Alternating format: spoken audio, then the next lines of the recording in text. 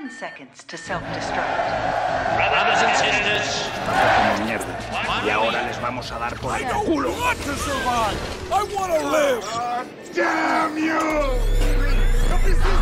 El pánico es global. Silent Breed is people!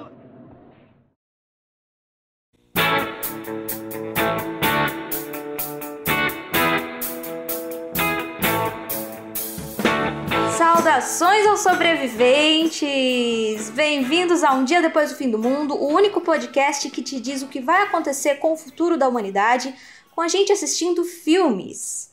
O meu nome é Ellen, eu ainda estou aqui trancada no meu bunker 002, mais uma vez com o nosso amigo Rafael. Olá, gente. E o Rafa, até o final desse episódio, ele vai contar pra gente como se defender de um monstro robô que quer sugar sua alma, né, Rafa? Tan, tan, tan, tan. Vou contar no final, hein? Então fique até o final. Aqui é bem é, programa do João Kleber, tá?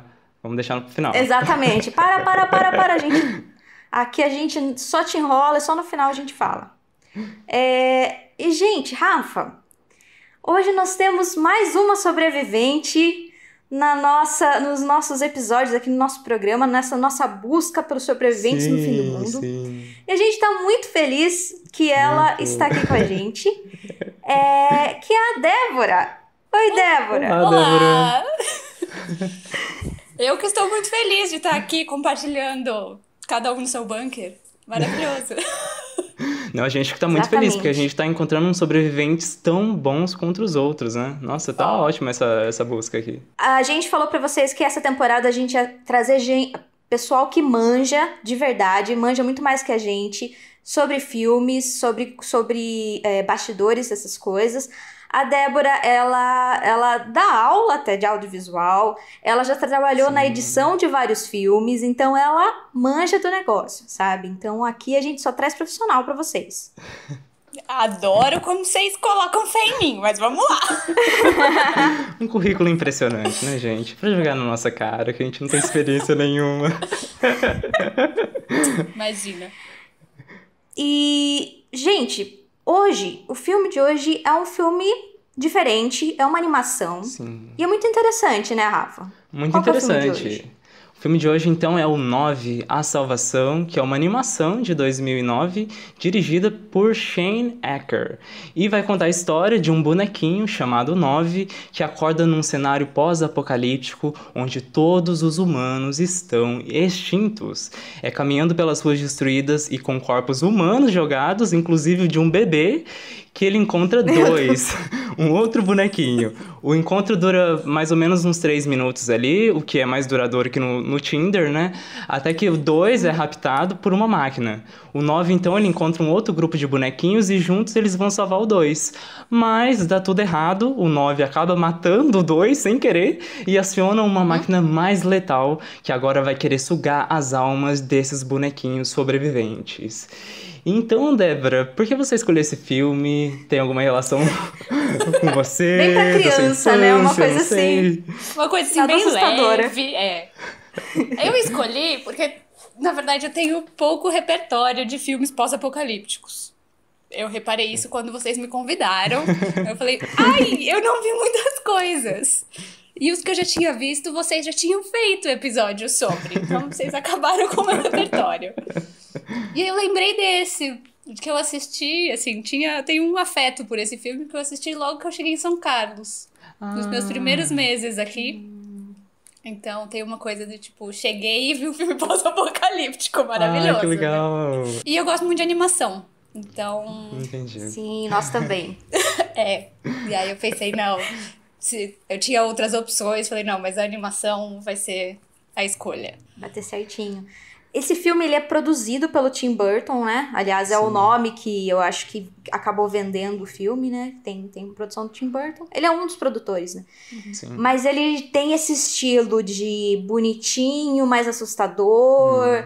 E tem um, uma história por trás aí, meio pesada, né? Porque ele Bastante. depois você vai descobrindo que eles estão num mundo onde teve um ditador, um chanceler ali, aliás, muito similar ao Hitler, porque tem Você vê bandeiras jogadas ali e tá realmente tudo destruído. Não tem um ser humano ali, sabe? Assim. Eu- o último. pa- Me parece que o último sobrevivente era o cientista. Todo mundo ou fugiu ou morreu. E aí, eu- aí eu fiquei- você fica pensando, né? Nessa possibilidade, assim, no, no, no que, que ele fez ali para que a humanidade continuasse vivendo. Então, os seres humanos não, não existiam mais, mas a humanidade continua vivendo dentro desses bonequinhos, né? Porque eles são a alma para quem. A gente sempre dá spoiler aqui, tá, gente? Já avisando, se É. você só tá escutando esse. Não tem como não dar, né? Ah, não tem como. Eles são a, a junção da alma desse cientista. Então, cada um tem uma personalidade diferente, mas eles são facetas da mesma pessoa, né? Sim, E aí eu, eu reassisti, né, pra gente conversar e tal. E aí eu até fiquei pensando nisso, porque eu não lembrava desse detalhe. A minha memória é péssima. Então, assim, é- é- quando eu assisto os filmes, eu nunca lembro de muita coisa. Eu lembro da sensação que eu fico, mas da história eu não lembro nada. Nossa, eu sou a Ainda mesma mais- coisa. A Ainda mesma mais que eu coisa. Também. assisti, sei lá, tem 10 anos, né? Então. e aí eu fui assistindo e falei, nossa, gente, mas que personagens mais caricatos, né? Estereotipados e tal. Mas aí na hora que você entende que são partes do cientista, você fala, faz todo sentido, Sim. Sim. né? Aí eu achei bem elaborado, assim, porque tem muito, né? Cada um dos bonequinhos tipo, é muito um perfilzinho definido. Eu, eu, eu achei no. Esse, ó, isso daí, não, essas definições não, fu, não fui eu, eu achei em algum lugar na internet. Alguém é, colocou, definiu esses nove bonequinhos, mas ele, ele definiu assim: que o número um é o medo, o número dois a curiosidade, o três e quatro é memória e atenção, o cinco é determinação, o seis seria tipo a arte, imaginação, o sete, a sete, né, coragem, o 8 força e o 9 razão, que é talvez a coisa, por isso que ele acaba sendo meio que um líder depois, acaba quando ele entra ali, porque ele é a, a parte mais forte do, de um cientista, que é a razão. Que faz sentido, né? A- Aquele primeiro, eu fiquei pensando se cada um também não simbolizava alguma parte na sociedade, porque por causa do número um, não sei se vocês separaram, ele tem uma indumentária assim bem religiosa, né? Ele anda com cajado, ele tem um chapéuzinho que parece de um papa e, e ele é o medo, né? É, eu pensei mais. Assim, eu achei que faz todo sentido essa, essa descrição que você achou aí. Mas eu fiquei pensando um tanto. Ai, nos, este- enfim, nos estereótipos de personagem, que em algum momento vai pra arquétipo, mas eu não vou falar que é arquétipo porque eu não manjo nada disso. Mas de coisa que a gente já conversou em outros momentos. Em aula. Em aula. de que tem, né? Tipo, o um é o mais velho e tem essa resistência, e aí você põe que o dois também era dos mais velhos, mas é o oposto do um, Uhum. Né? Aí o 3 e o 4 são crianças, então eu achei super bonitinho, assim. Tem uma coisa Sim. que é legal de ser de memória, mas tem uma coisa de agilidade, de comunicação, né? Sim. A Sete ser a melhor de todas e uma mulher, isso é sempre maravilhoso. Sim. E eu acho que e pensar que é, que é parte do cientista, de que é isso? O Ele tem, eu pensei nisso. Ele tem, tem- um lado feminino. ele tem um lado feminino, exatamente. Não, e acaba também sendo um conflito de gerações, né? Tipo, o um é o primeiro a sair e ele pensa essa. esse- Ele tem esses pensamentos mais ortodoxos, né? Não quero ir lá atrás e tudo mais. E o 9 já é o oposto, né? É aquele que tá disposto a, inclusive, pegar um instrumento lá e colocar na máquina sem saber o que que é e vamos lá. Acorda a máquina, mas fizemos, sabe? A curiosidade acima de tudo. Então é interessante isso, né? Nesses personagens também. Mas uma, eu acho que a coisa mais legal desse, dessa parte do cientista, praticamente colocar ali, né, ele dentro desses bonequinhos, é que parece o Chuck, né? Eu não sei o que, vocês acham, mas assim, é basicamente a mesma coisa. É uma, é uma transferência de alma ali pra um boneco, assim. Eu adorei essa referência, adorei muito. É. Inclusive. Quero saber de vocês se qual que é a, su- a relação de vocês com alma. Vocês acreditam nisso? Tipo, qual que é a relação de vocês? Pã. Tô soltando aqui. Pergunta Vamos ser fácil, polêmicos. Eu vou jogar só que da coisa de dividir a alma, eu lembrei do Voldemort. Eu ia falar isso. Eu falei, gente, eles são horcruxes. É verdade. Só que de um jeito bom, né? Assim, que é pra vou, sei lá, reestabelecer o mundo, não só para Sim. o cientista sobreviver, né? Num sentido mais da humanidade Sim. do que individual. Sim. Mas eu lembrei dele na hora. o cientista era uma pessoa boa, né? Podemos dizer assim que o que aconteceu foi que a, o que ele inventou foi usado para o mal por políticos, que é o que Sim. acontece com a ciência às vezes, né? De só acredita na ciência quando é usado para guerra, Uhum. Para fazer novas maneiras de matar, de machucar outras pessoas. Daí, quando não favorece as suas inclinações políticas, aí os cientistas é do mal. Porque foi o que aconteceu, né? Eles colocaram, aparece nos jornais ali que até então, não, essa é a nova tecnologia que vai fazer a gente vencer a guerra, que isso, que a gente vai ser poderoso, e depois aparece nos jornais. Cientista é o inimigo número um, Uhum. Aí, assim, quando não, não, não favorece, não te favorece politicamente, daí a ciência é, é a inimiga, né? Sim. É o, é o grande mal que deve ser combatido. Sim. E o cientista ali, eu não sei se ele, ele parecia bom, porque ele fez uma tentativa ali de, de preservar a humanidade através dele, da alma dele mesmo, que é bem bizarro. Eu- Eu acho que ele é mais neutro, né? Ele, ele acreditava ele acreditava na ciência mesmo ali. E eu não, eu não sei qual que é a, intenção daí de você fazer um monstro gigante, robô, se era pra outra coisa que não fosse. Pra guerra. Não fala ali, né? É, se não, Não. fosse pra guerra, né? Mas eu tenho a impressão que, enfim, não vou lembrar de nenhum exemplo exato agora. Mas de que tem muitas histórias, e filmes principalmente, de que o cientista cria uma coisa que é potencialmente problemática, mas que ele acaba criando pelo prazer de fazer, assim, de testar os conhecimentos dele. Engraçado porque eu tô lendo Frankenstein agora e é bem isso, tipo, dando um, um spoiler de um livro de 200 anos atrás, é, a história começa com um cara que é um que tá fazendo uma, uma expedição tal pro Polo Norte e ele encontra o Dr. Frankenstein. E ele salva ele do, do gelo, eles estão. é, ele tava quase morrendo ali. E daí o cara fala assim: Não, porque eu tô fazendo essa expedição e eu quero fazer novas descobertas, e para mim o que importa é o conhecimento, é o prazer do conhecimento, de desbravar, e não importa assim, se, às vezes, lógico, a gente pode, no meio da expedição, talvez alguém morra, talvez, sabe, até isso, ele falou assim, até, talvez eu morra no meio da expedição, mas vale a pena pela busca pelo conhecimento. E daí o Dr. Frankenstein fala, fala assim: "Não, deixa eu te contar uma história, não caia nessa porque eu já caí". E ele começa daí ele conta a história do, do quando ele criou o monstro e tal. É verdade, tipo, faz muito sentido. Tem É, muitas, essa é uma é. história que sempre é contada, né? É, tô tentando. Eu queria lembrar de algum exemplo um pouco mais profundo, assim, mas eu só consigo pensar no Tony Stark criando o Ultron. Também. Sim, sim. Eu queria um exemplo mais É cult, não consegui, gente, desculpa.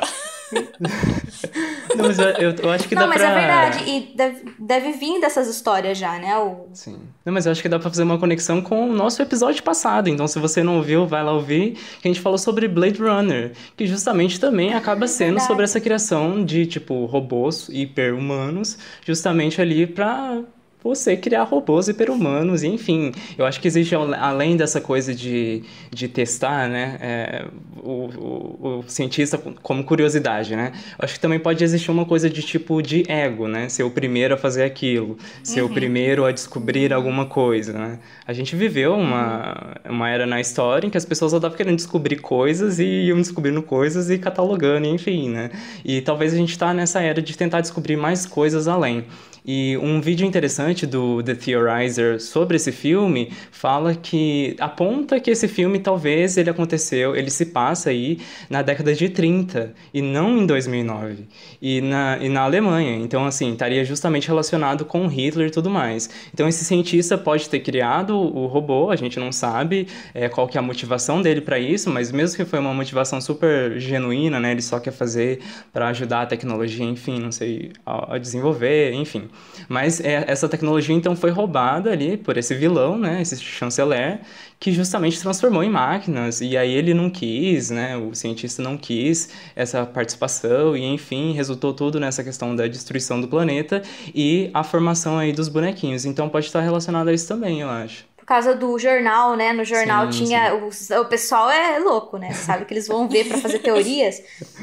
Aí ele foi lá, pausou pra ver a data no jornal e tava 1930 alguma coisa. Aí que ele, ele ligou, e também porque acho que tá bem claro, né? Quando é o- a imagem de, dos nazistas ali. Em, algum, em vários filmes usam isso, né? Pros seus vilões, porque é fácil de usar e infelizmente. Enfim, está, está aí, né? E daí ele, ele viu que seria mais ou menos essa época. Mas aí eu fico pensando, né? O próprio os nazistas, eles usaram a ciência, assim, fizeram testes em seres humanos, assim, absurdos, né?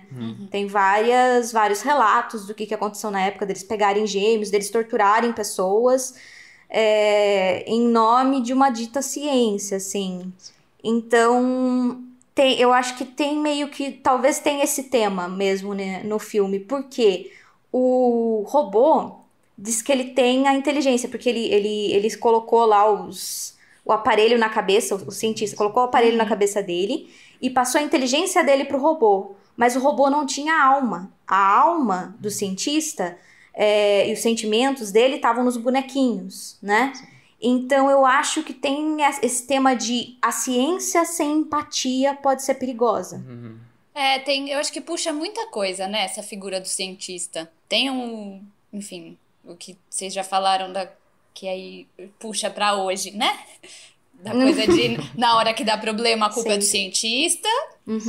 Tem uma coisa, acho que da ingenuidade, e aí que é uma ingenuidade Sim. que também passa pelo ego, que o Rafael falou. Então, por mais que o cientista apareça pouco, é engraçado isso, assim. Tipo, o filme, a base do filme inteiro é ele. E aí, sem entender o que que, o que que é essa figura desse cientista num mundo catastrófico. E, e aí, eu acho que eu entendo um pouco é isso, assim, quando ele fala que a máquina era o cérebro dele. E aí, pra, e ele viu que deu errado. Tá, então deixa eu colocar a minha alma no mundo pra ver se equilibra, né? É quase um divertidamente ali que tem todo É. Também, é as verdade. Dá pra partes dele. pensar. Assim. Dá pra pensar nos nove entre os, os do Divertidamente. E é interessante também pensar que o 9 acaba sendo o vilãozão, né, dessa história. E o 9 sendo cientista, o cientista é o vilão da história também, né? Porque já que ele é uma parte da consciência, tem eu vi vídeos no YouTube falando justamente que foi intencional esse, esse sentimento de querer colocar aquela, aquele objeto lá na máquina para justamente conseguir chegar àquele final da história. Porque senão eh, as máquinas ficariam lá, enfim, assim, eu achei uma teoria bem interessante, assim, talvez faça sentido. Ah, que ele queria que a máquina queria se ju- juntar, porque ele já tem o intelecto do cientista. Se ele juntasse todos e puxasse a alma pra si, talvez. Porque na verdade o que, que aconteceu no final? Ele libertou parte da alma, sobrou só o 9, a, a 7 e o 3 e 4, né? Uhum. Sobrou quase uma família nuclear ali. É, eu achei essa parte. Falo, gente, por quê, sabe? E ainda mais, tipo, por um lado, ok, sobra uma família nuclear, então vamos pensar na repopulação do mundo. Mas são partes da mesma pessoa, então fica um pouco estranho. Eles não vão se reproduzir, né? Então, não sei. Tem esse ponto também, que eu até ia perguntar pra vocês, o que que vocês acham, assim, de... E aí? Sobraram os quatro, mas não tem mais ninguém. E eles não se reproduzem, eles são bonequinhos.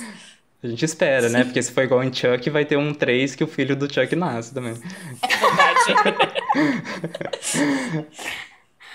Ah, mas é, eu não sei o que que aconteceu. Eu acho que é mais essa vibe de alguns filmes pós-apocalípticos que a gente notou, de existe esperança, sabe? Então sobra, tem que sobrar alguma vida ali, algum tipo de vida, Uhum, de alguma tá. maneira. Então, tipo, acaba de uma maneira triste, porque é triste, né? Aquele É. final. Sim. Poxa, os personagens que a gente tá seguindo todo esse tempo, eles viram alminhas e E vão vão embora. pro céu, vão embora. E sobra, mas sobra alguns e eles são a esperança de que, de alguma maneira, a vida continua. No Expresso do Amanhã, que a gente fez também, sobra, morre todo mundo, é sobre um trem lá, também já dando, dando spoiler sobre o Expresso do Amanhã. É, mas o filme, né? É, aliás, muito bom esse episódio, tá, gente? Vamos lá, vamos lá escutar. É, a gente falou sobre capitalismo, é ótimo. É, e daí o que que acontece? Explode todo mundo e sobra duas, uma adolescente e um menininho e um urso polar Sim. que a gente vê no final, pra mostrar, olha, a vida continua apesar de tudo, apesar do sistema, não importa o quanto a gente queira manter o sistema, é, o que continua é a vida. Então é meio que essa Pra não deixar completamente des- desesperançoso. Uhum. Era o que eu queria pro final de Game of Thrones, já falando de outra coisa aqui.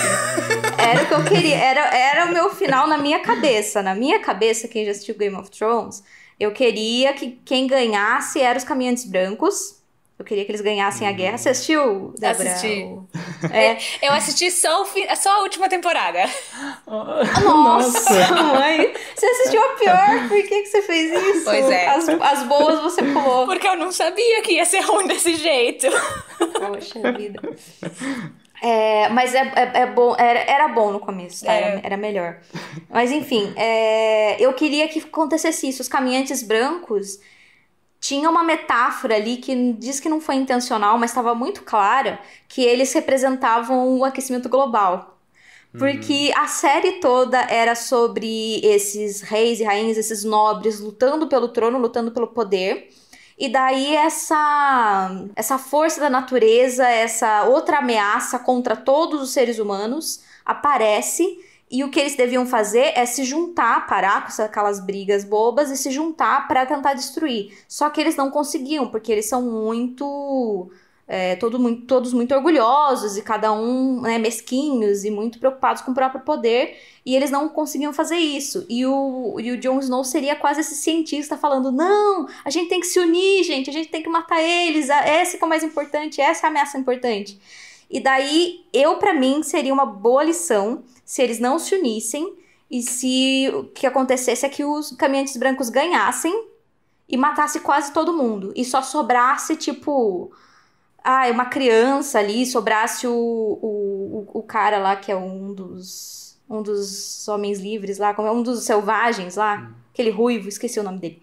Que sobrasse, sabe, um povo assim, meio aleatório. Sim, E só, mas os nossos principais morressem. Morresse Jon Snow, morresse Cersei, morresse tudo na mão dos caminhantes brancos. Esse era o meu final é, perfeito para Game of Thrones. Não aconteceu, porque, né, Ó, se prepara pros Enfim. hates, hein? Vai Por quê? chegar aí. É. Matar o Jon Snow.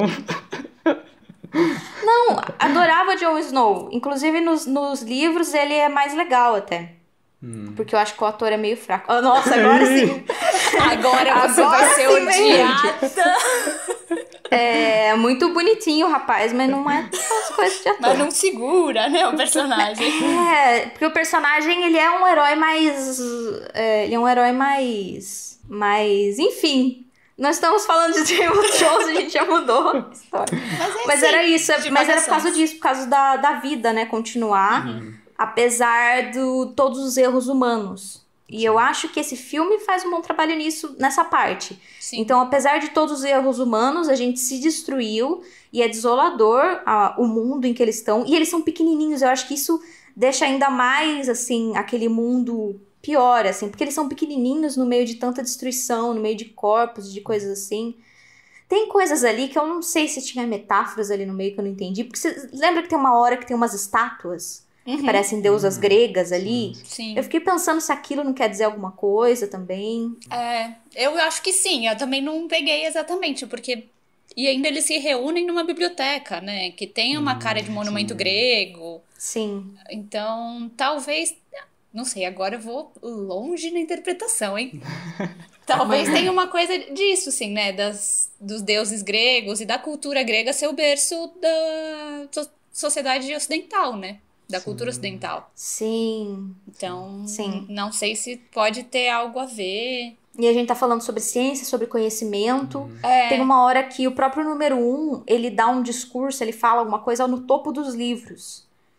E, e eu acho que tem uma coisa assim, tipo, ele fala alguma coisa e ele é muito o. Essa também, essa figura de autoridade naquele, no Uhum. começo, assim, que quer colocar medo nos outros e tal. Então, talvez uma soberba também que possa ser trazida, né, com, com a, sei lá, a intelectualidade, aquela intelectualidade que, que não ajuda, mas só, sabe, em vez de ser usada pra ajudar realmente, fica, coloca aquela pessoa no topo ali e ela não quer descer, sabe? Uhum. Não sei. É, que é bem. Enfim, também viajando. É. Não, mas que eu acho que é bem a cara do um, né? Porque desde o Sim. começo fica claro que ele sabe tudo que tá acontecendo. Sim. Ele só não quer falar. Sim. Ele manda o dois pra morrer. É, porque o Porque, 2. tipo, eu não perdoei ele ainda Não. sobre isso. O dois era tão legal. É que o 2 desafia ele, né? Assim, Uhum. o 2 desafia essa ideia do 1. Um. Tipo, ele sabe tudo, mas não. Então deixa que o mundo acabe e que eles se matem e sei lá o que vai acontecer lá fora, eu vou ficar aqui protegido. E aí o 2 Sim. desafia, né? O 2 fala, não, a gente tem que entender o que tá acontecendo e ir contra.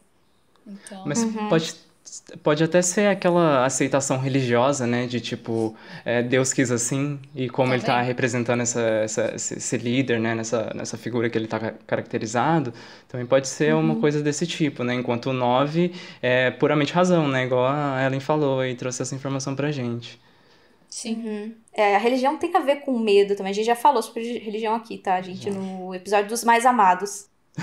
É... Eu tô percebendo que filmes pós-apocalípticos vocês entram em discussões profundíssimas. Não, mas aqui a gente já falou que aqui a gente, a gente usa o filme como desculpa pra falar sobre um monte de coisa. É verdade. Aí que o pessoal acha que vai falar. Você quer, você quer um resumo do filme, gente? Você vai na Wikipédia. Porque aqui a gente, a gente fala de outras coisas ao redor do, do filme, sabe? Mas é isso. E, e o tema de hoje é ciência. Ciência! Não, inclusive, já É. puxando aí outros assuntos ao redor desse filme, eu acho que a gente pode entrar num, num assunto de flopar. Porque esse filme, é, assim, pelo que eu pesquisei, ele parece que foi meio um flop, né? Foi. Assim, 2009 foi um ano muito bom para as animações. Então aqui trouxe um levantamento da- das animações que tivemos nesse ano. Então foi Up, foi desse ano, Monstros vs Alienígenas, A Era do Gelo 3, Tá Chovendo Hambúrguer, A Princesa e o Sapo, Coraline e Planet, Planeta 51, que é um filme da, da Sony, esse eu menos conheço, mas todos esses fizeram um, um arrecadou mais dinheiro que o, o 9. Né? Aí, para comparação, eu trouxe aqui a, a Coraline, porque os dois são da mesma distribuidora, a Fox Feature. E a Coraline, ela teve um orçamento de 60 milhões e ela arrecadou 124 milhões. Então, assim, praticamente dobrou, né? A direção do Coraline é o do, do Henry Selick, que é o mesmo diretor do Estranho Mundo de Jack e James e o Pêssego Gigante. Então, eu achei que poderia, por exemplo, estar relacionado a isso, né? Conseguiu mais bilheteria porque tem um diretor mais renomado. Mas mesmo assim, fazia ter um gap aí de 10 anos que esse diretor não lançava nada de expressivo. Então, assim, ele estava meio esquecido e aí ele voltou com Coraline com tudo. Mas então, eu não acho que tenha muito a ver com o fato dele estar ali, sabe? E o Coraline tem um, no Metascore, ele tá com 80 e o Roger Ebert deu 3 de 4 estrelas para Coraline. O 9, portanto, ele tem um orçamento de 30 milhões e uma arrecadação de 48 milhões no mundo. Então ele não conseguiu nem dobrar. Conseguiu bater ali, né, o orçamento dele, mas não arrecadou o suficiente. E o 9, eu acho que ele tem um elenco muito de estrela de Hollywood, né? É o Elijah Tem. Wood que fez O Senhor dos Anéis. É a Jennifer Connelly, que hum, tinha feito muitos filmes, inclusive eu acho que ela tinha ganhado o Oscar, né, recentemente, pelo A Beautiful Mind. É, o Christopher Plummer, o John C. Reilly, nossa, assim, um elenco muito grande. E o, o, tinha, o curta ainda, né, que foi baseado nesse filme, tinha sido nomeado para o Oscar, então ele já estava com buzz. Então esse diretor tinha uma nomeação ao Oscar ainda. A produção do Tim Burton, como a gente falou. No Metascore ele tá com uma nota 60, que não é tão ruim, né? É uma nota até boa comparada aí com o resto. É o número um, é o número um de filme mais compartilhado de 2009 no Metacritic, inclusive passou o Avatar e, e foi o, o número 40 de filme mais discutido do ano. É, e, só- e passou ainda Monstros vs Alienígenas e A Era do Gelo, que foram é, é, bilheterias maiores que ele, né? E no Roger Ebert teve a mesma nota do, do Coraline, 3 de 4. Então, assim, eu quero trazer para vocês a seguinte pergunta: por que, que os filmes flopam? Eu achei que esse filme tinha tudo para conseguir assim ser um sucesso. Ainda mais tinha todo um simbolismo, né, que a data dele foi lançado em 9 de 9 de 2009. Ele tinha todo um marketing em cima de tipo perfis de eu redes acho sociais. que o marketing falhou. Mas eu, Eu acho que o marketing falhou mesmo assim. Sério?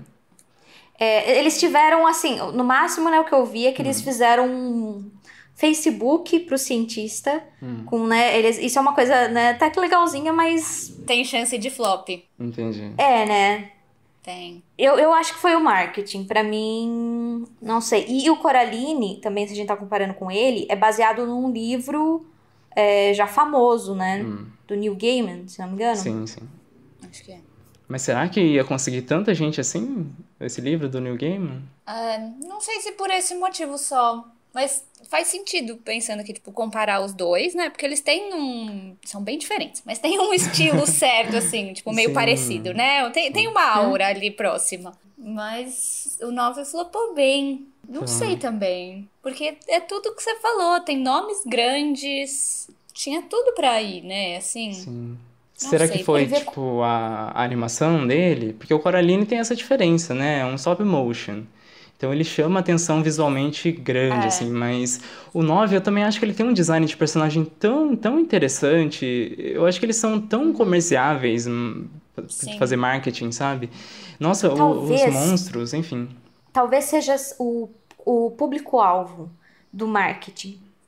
Porque, pensando bem, o Coraline, eu acho que o público-alvo dele é principalmente crian crianças. Olha, gente, eu já trabalhei com criança. Criança gosta de coisinhas assustadoras. É lógico que tem um limite e tal, você não vai colocar um, um Jogos Mortais pra criança assistir.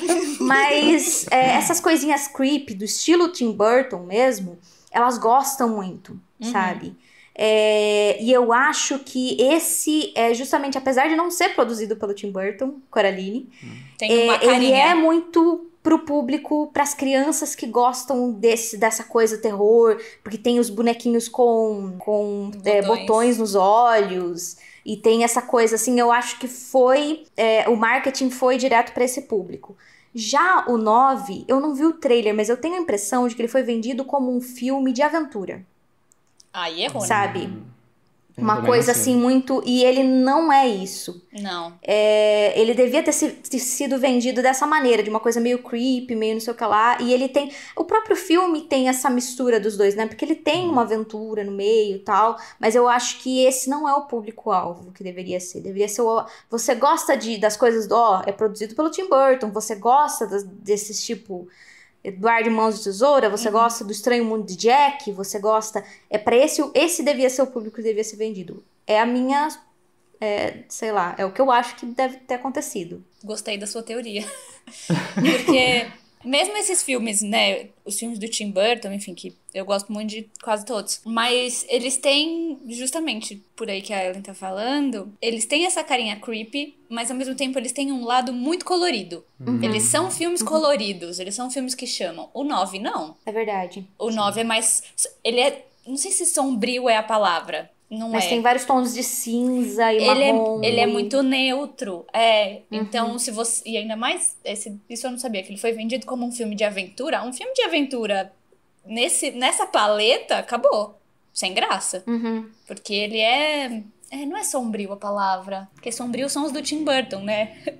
Que aí, só que Sim. aí tem o outro lado, que sempre tem o lado mais escuro e um lado mais colorido. Ele puxa meio pra um pastel, né? Assim, pra uma coisa. É, Ele tem a cara de pós-apocalíptico. Assim, aquela coisa, tudo acabou e tal. Então, acho que se vendeu como um filme de aventura, mas encontrou um público depois, né? Que você vê uma, um- um- na, na internet um pessoal que depois queria saber sobre as teorias, sobre o que, que significava. É aquele tipo de filme. A gente tem que ver, já faz. A outra não sabe quanto tempo faz. Faz dezen- que é dezen- 11 anos. Onze. É, pessoa de 11, né? humanas, né? é humanas. 11 anos.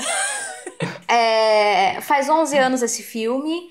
E, enfim, eu acho que. é, não sei se hoje em dia a gente vê tanto. Tantas pessoas falando. Nós estamos falando, estamos trazendo de Sim. volta esse filme. Sim. É isso, gente. Entendeu? Estamos trazendo de volta esse filme pra internet. Vamos teorizar novamente. Vamos falar novamente. Vocês têm que trazer pra gente as suas teorias sobre o filme 9.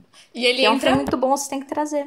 é, e ele entra muito pra quem gosta de filmes que você consegue ficar teorizando em cima e criando teorias da conspiração.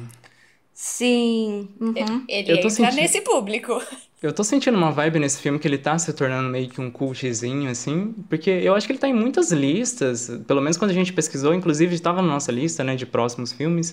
É, a gente viu em vários lugares esse filme, eu acho que ele tá continuando depois da, da, bilheteria dele, né? Tipo, o Monstros vs Alienígenas, que eu citei aqui, que tinha uma. foi a segunda melhor arrecadação de uma animação naquele ano, já tá um filme mais esquecido. Eu acho que as pessoas não estão lembrando muito. Enquanto o 9, eu acho que ele tá conseguindo resistir ao tempo e pode ser justamente por isso, né? Esse caráter de teorizar em cima dele, poder ir atrás das coisas. Inclusive, parece que em 2016 reativar essa conta aí do cientista, né? Então, não sei se vai vir com uma continuação. Eu duvido, porque eu acho que a bilheteria dele foi tão ruim, assim, para os parâmetros de Hollywood, que duvido que vão querer fazer uma segunda coisa com ele. Inclusive, o diretor agora só tá trabalhando na parte de efeitos visuais. Então, eu não sei se ele retornaria mesmo, assim, não. É, e eu acho que se tiver algum uma continuação ou algo do gênero é forçar muito a barra. Talvez fica muito explicativo, né? E fica aquele negócio É. de continuação que não precisa. É, porque ele Seria o filho de Chuck. seria o filho. Exatamente. Seria Ou então, esses que inventam de fazer o, o anterior, né? Pra explicar o que Sim. aconteceu. Só que aí você estraga Ah, o filme, porque. Uhum. Não, desnecessário. É. Eu acho que ele é ele é perfeito da maneira como como ele é. E ele é curto, né? Ele é, É. ele é bem curtinho. Acho que é o mais fora os curtas que a gente já fez curta aqui. é, ele é o filme mais curto que a gente já fez. É, ele tem uma Né, hora e Rafa? pouquinho, acho né? que sim, acho que sim. Uma hora e, uma hora e vinte no máximo. Sim. É, mas para uma animação Uma também que tá começando, né? Eu acho que é justificável ele ser ter uma duração menor, né? Porque a animação vai durar mais tempo, você vai ter um gasto a mais. Esse filme, comparado às outras animações, teve um orçamento até muito baixo, né? De 30 milhões. Coraline teve 60. Aquele Planeta 51 que eu falei an- anteriormente tinha 70 milhões e o resto só ia subindo, assim. Então, é um orçamento até baixo para animação, né? De Hollywood. É. Porque é um filme Ele- simples, né? Só que eu acho que talvez a coisa que vocês falaram dele tá voltando é que é isso. Ele é um filme simples, mas ele é um filme com muito elemento. Então não é que nem o Monstros versus Alienígenas. Que você assistiu, você assistiu, acabou. Eu adoro, mas acabou, assim. Você não tem. Ele não rende. O 9 rende. Sim. Você não fica pensando, é, esse o 9 é um que você para, depois você você termina e você fica pensando depois sobre o que que aquilo queria dizer, sobre aquele mundo. E eu acho que pós-apocalipse está voltando, gente. Não é à toa que a gente está com esse podcast, porque assim, a gente tá pensando muito mais nas nas possibilidades aí de fim do mundo e parece que todas toda várias aí são possíveis. Nesse caso, por exemplo, é um são é um mundo onde um ditador usou a ciência para o mal, para a guerra e destruiu ali a população daquele lugar. A gente a gente aliás a gente não sabe se foi o mundo ou se foi só aquele país ou só aquele lugar, né? A gente É. sabe que a cidade que eles estão, porque eles são pequenininhos.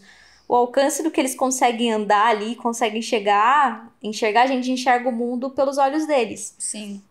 Isso é uma coisa Podia ser que uma eu, cidade. que eu penso muito sobre esses filmes de guerras mundiais e pós-apocalípticos e tal. Porque sempre, assim, tem alguns que mostra mais de uma cidade. Mas no geral é um lugarzinho, né? Que tudo acaba. E aí você fica. E o resto? E o resto do mundo? Será que aconteceu igual?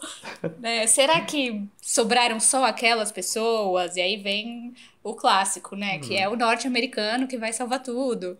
E acabou Nova York, o mundo acabou. né? Então, a gente fez o do, do 28 Days Later, foi o nosso primeiro episódio. Sim. Que esse eu não, esse eu não escute, não, que é meio ruim. Não. É, mentira, era a primeira vez. A gente tava ainda se adaptando, adaptando o som e tal, essas coisas. Mas escute sim, se escute todos, tá, gente?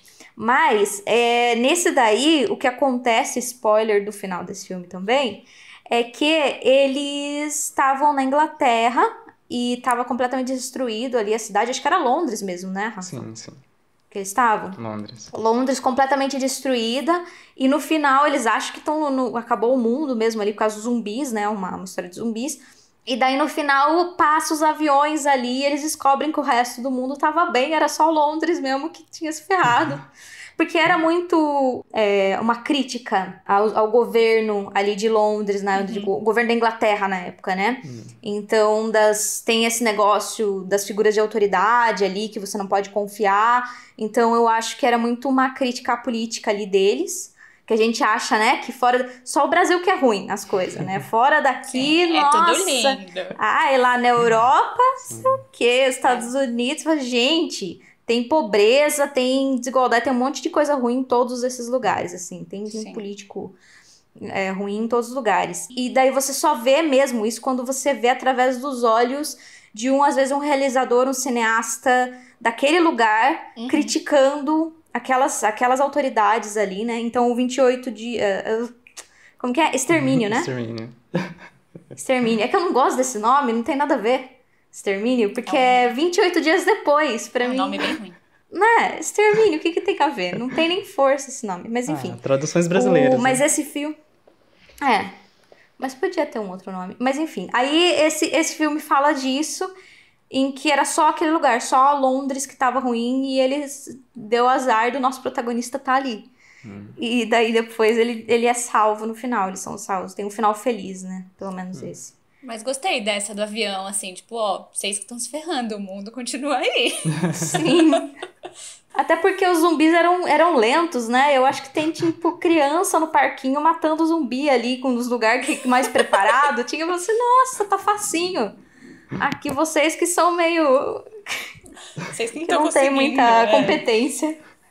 Mas eu acho que também dá pra pensar o, o pós-apocalipse como algo muito subjetivo, né? Porque eu acho que todo mundo tem uma vida é, separada, né? Única, e a partir do momento que você morre, é, você tá vivendo pós-apocalipse. O seu apocalipse aconteceu, né? Eu acho que também dá. Sim. Eu, a gente não, eu acho que a gente não viu nenhuma obra assim, né, Ellen, que trata a morte como um apocalipse, mas é uma visão que eu tenho muito da religião, talvez, é, que eu acho que o apocalipse é justamente o momento que você morreu e acabou, então cada um tem seu apocalipse, mas a gente não viu nenhuma obra dessa, então se alguém conhecer alguma obra que relaciona aí morte ao apocalipse, por favor, recomendem pra gente. Sim, verdade. Pode nos recomendar. Então, gente, nós chegamos à nossa pergunta final, que é a pergunta que a gente sempre faz, que é o objetivo desse podcast. A gente quer saber o que vai acontecer com o futuro da humanidade. Então, nove.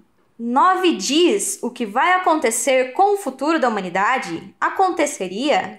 Tan, tan, tan, tipo uma buzina. Rafa, comece você. É, por favor. Gente, eu acho que é super possível. Acho que a gente já viu isso em Toy Story, a gente já tem um, um, um foreshadowing lá de que os, os, os brinquedos vão ganhar vida e vão tomar a Terra, então eu acho super possível e eu apoio. A gente aqui tá fazendo uma campanha para qualquer tipo de espécie querer dominar o planeta ao invés dos seres humanos, então eu apoio novamente. Sim, eu tô achando robôs, brinquedos, Exato. eu, eu apoio esse, é, essa dominação aí de outros seres, porque eu acho que a gente já ferrou com tudo. Também acho. E vem aí, gente, nos próximos episódios, vem aí a teoria Pixar, tá? A teoria Pixar fala sobre o fim do mundo, nós vamos discutir isso aqui, então fiquem ligados. É, tem que nos seguir aí nas redes sociais para saber quais vão ser os próximos episódios. Mas concordo, Rafa. Se não forem robôs, vão ser bonequinhos de voodoo aí com almas, alguma coisa. Mas que sejam, porque eu acho que a ve... ou vão ser baratas, como a gente já viu. Tem Exato. o Wally também, né? Apesar que o Wally, ele ainda dá uma chance para os seres humanos, não sei se mereciam. Então, Será que É. mereciam? Eu acho. Porque no Wally não. quem sobreviveu era um, a pior tipo de ser humano, que eram o quê? Os ricos. Os sim. ricos Porque quem folgados. tinha dinheiro, né, pra ficar ali numa, num cruzeiro espacial era gente rica. A gente já tinha discutido isso aqui. Então, o pior tipo de ser humano que eles não iam saber trabalhar mesmo. Não sei se eles iam conseguir trabalhar a Terra ali do jeito que eles falaram. Mas enfim, concordo, Rafa. Eu acho que aconteceria assim. Vamos continuar é, construindo aí bonequinhos e robôs e coisas assim. Ó, eu vou concordar com vocês. Eu confesso que eu tenho um pouco de medo dos robôs, porque a gente já viu em vários filmes que os robôs com- se convertem a alguma coisa meio doida Sim. e acabam com o mundo de novo. Eu gosto mais da ideia É dos bonecos, porque os bonecos têm, têm um pouco mais de empatia e amor dentro deles. Então. A não ser que foram. Chucks, né, da vida. É, não. É. Aí tem. É. Não, tem bonecos, né, entre aspas, maus. Mas eu acho que eles se equilibram entre eles, assim. Eu queria muito a história do, do- da turminha do Woody versus a turminha do boneco assassino, pra ver quem ganhava. Olha. Maravilhoso. Nossa, gostei dessa ideia. Entendeu? Toy Story versus Chuck. O novo filme aí da. Não sei quem que vai fazer esse filme. Eu gostei disso. Mas fica aí Mas- a ideia pra Hollywood. Me É, contrata, Hollywood. Mas acho que a gente também tem que tomar cuidado com os bonecos. Eles têm que ser tipo Toy Story, que tem de todos os tipos. Não pode ter só bonecos humanos. Porque senão Sim. vai voltar ao mesmo problema. É verdade. É verdade. É verdade. Só, só humanoidezinhos ali. Tem Não que ter ali um, vale, um é. dinossauro, um porquinho. Uma cabeça um de cabeça batata. batata. e a senhora cabeça de batata também. Ela é, É. uma das melhores personagens. Ela não é podemos ótima. esquecer dela. Não, Toy Story é a solução do mundo, assim. Porque eles Sim. vivem em harmonia. Tem ETs. Tem, Exato. tem tudo. E eles respeitam, é verdade, respeitam todo Sim. mundo ali, eles aprendem a ser amiguinhos no final. Essa sempre é a lição do final. Eles aprendem a ser É. amiguinhos, não importa onde eles estão, com quem, qual brinquedo, diferentes brinquedos que eles se encontram. Já encontraram brinquedos. Ah, eles já encontraram brinquedinhos de. Nesse Toy Story 4, brinquedos de meio filme de terror. Sim. Já. Vocês já assistiram 4? Então, eu acho que eles se dariam bem. Eu acho que eles se dariam bem com o Chuck. Eu acho que Talvez. seria um mundo sem guerras. Eles iam converter o. Chuck. Olha, é verdade. Sim, ele ia falar assim: não, você tem que encontrar sua criança. É isso. É um mundo de crianças e brinquedos. É o melhor mundo. É. Eu acho que. E o 9 puxa isso também. Porque eles Sim. têm que se unir. Eles se unem, né? Eles têm que ficar amiguinhos no final Sim. pra fazer as coisas funcionarem. Hum. É a primeira, é a primeira palavra que ele dá no, no, no filme: é amigo. É verdade. É verdade. Ele fala friend, friend. É verdade. Não, e a gente não Ou pode seja, esquecer eu de. acho que é. A gente não pode esquecer de mencionar a Annabelle, porque senão ela aparece na nossa casa, tá? Porque ela tava foragida esses dias, então a gente não pode esquecer Ai, de é nomear ela aqui, porque senão ela aparece. Vingança, também né? muito bem-vinda aí no, no, no, nossa, no ao nosso mundo. mundo ideal. Ao mundo dos brinquedos. Então, Sim. Venha você também. Cabe todo Você mundo. Essa é a ideia. todo mundo. Thaís né, tem, a, tem a bonequinha também do Toy Story, elas podem ser amigas, podem conversar de Sim. como elas viram a cabeça e parece que estão com Ah. demônio, uma coisa assim. Tem vários altos Uhum. papos que podem surgir Nossa, é entre mesmo. elas. Ó, até bonecos com demônio estão aceitos, gente. Então. Tá maravilhoso esse mundo. Sempre, é um mundo sem preconceitos, entendeu? É isso. Sim. Tem, as, as, as Barbies, tem as Barbies, mas tem as bonequinhas assim maiorzinhas também. Tem, sabe? Tem todos os Sim. tamanhos, todas as cores. É ótimo. Tem tudo. Todas as espécies. Com todos os tipos de amigos. Eu acho. Eu acho que esse Uhum. podia ser o futuro do, do mundo. Verdade. Então tá aí, gente. Vocês ouviram aqui primeiro. Nós descobrimos como que vai ser o pós-apocalipse. Vai ser o apocalipse perfeito vai ser dominado pelos brinquedos. Sim. Então nós ficamos aqui, é, por enquanto, aguardando os nossos overlords brinquedos. Enquanto isso, se você quiser saber como é que vai se desenvolver tudo isso, como é que os brinquedos vão tomar conta, como vai ser o futuro da humanidade, nos siga nas redes sociais, arroba depois dia no Instagram e no Twitter, barra depois dia no Facebook, um dia depois do fim do mundo no YouTube. Muito obrigado por escutar até aqui. Débora, muito obrigada por ter Muito participado. obrigado, a gente ficou Débora. tão Obrigada feliz. a vocês pelo convite, eu adorei. É, Foi ótimo. Você quer deixar alguma rede, alguma coisa pro pessoal seguir? Uma mensagem final. Na mensagem É, final. qualquer coisa. Ah, vamos de. To... Assistam Toy Story sempre. Acho que essa é a minha Aí. mensagem. Depois de... Toy Story Depois Forever disso é a tudo. nossa, nossa historinha do coração. E acompanhem esse podcast maravilhoso. Que Ellen e Rafael Ah, Ê! são lindos. Obrigada. Obrigado. É, muito obrigada de novo, gente. E Bunker 002, câmbio desligo. Gente, muito obrigado por escutarem e fiquem de olho nas lojas de brinquedo aí da sua cidade. Daqui a pouco vai começar a sair notícias aí, tá? Então, Rafael Bunker 03, câmbio desligo. Go